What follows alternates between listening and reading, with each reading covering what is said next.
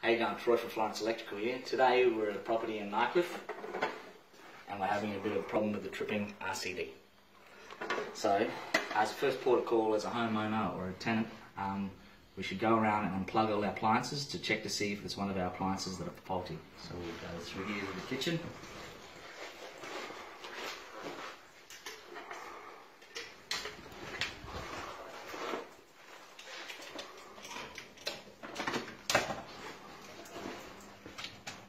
Unplug everything on that circuit.